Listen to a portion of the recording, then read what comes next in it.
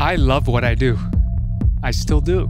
It's still a passionate thing in my life, and it's something that I want to continue doing. And I still have passion for this form of electronic music, whether it be old school or some of the more contemporary, newer things. There's something about it that I can't kick. It's like an addiction, you know, whatever it is, like uh, electronic music or music in general is my addiction. I have to have it around me all the time. I always feel like I need a soundtrack to my life. And I don't always have to be the one that programs that soundtrack. I do that when I'm on the road. And to ease the pain of traveling, being on the road, I like to have music in my ears. It's this drug and passion in me. When a movement in anything in life, I think, begins, there's a learning period and a learning curve. And it's all based on something. I don't think certain instruments are meant to be used in certain ways, and then all of a sudden people do it, and you're like, whoa, someone did that with the guitar? Everything's changed since then. And the same thing happened with phonograph record players. I mean, I don't think that turntablism was in the mind of the person that created the phonograph. You know, to see what people can do with juggling beats and turntablism.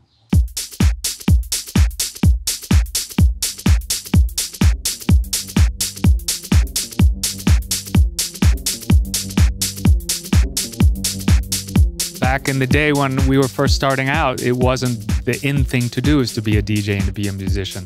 We just did it because that's what we wanted to do 24 7. We wanted to eat it, we wanted to breathe it, we wanted to drink it. That's all we wanted to do. Nowadays, I think people want to do this, but there's different motives behind it. I didn't get into it because I knew I'd be getting limo rides and drugs offered to me and having gold records and being a DJ on a stage 20 meters in the sky, playing in front of a million people for Love Parade in Berlin. Yeah, I didn't think of that. I mean, it wasn't on my radar. I don't think it was for a lot of us seasoned veterans of the DJ electronic world. And now I think people strive for that. It's like fishing, you know, you have the bait in front of you and all the people want to go to the bait and what you can get when you get that. You know, you get the first class seats and the champagne and the packed nightclub and the, the model girlfriend and the sex behind the DJ booth and the money, the money, the, the villas, the private planes, everything now that you see is a part of the culture that's become this culture. Excess it wasn't so much back then, and we didn't really care. We just wanted to do it.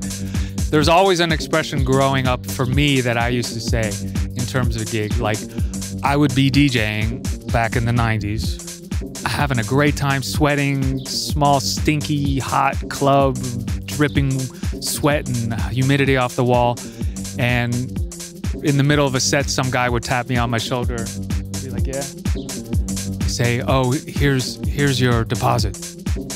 And I'm like, deposit? What do you mean? I, I, I get paid for this? Like, are you serious? I'm actually getting money for doing this. I love it. I, I can't believe I'm. That's what it was. That's what it was. Like, I can't believe I get paid for doing something that I love.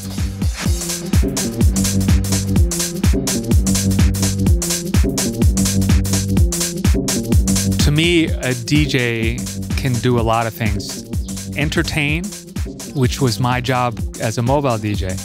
I was paid to entertain people at a, a, wedding or a Sweet 16 or a party. And people come up and ask for requests, and I would be paid to play those requests. And then, as the artistry of DJing came around, and the DJ being a disc jockey and a selector, is that you can educate. And those two things became very important and apparent for me is to be a DJ that entertains and educates. And I still love being that for people. But I think a lot of that has changed as well too. I think more importance is put on people jumping up and down and pogo stick at, at festivals and clubs and the build-ups and the snare rolls and the the the, the quick climax, which I think is sometimes part of that, and it can be as the entertainment aspect of it but it's also, I get more enjoyment when I see people on the dance floor with their eyes closed. lost in the music, head in the speaker, not concerned about the lights, but just solely in the moment, being taken away from their problems and making it a music therapy.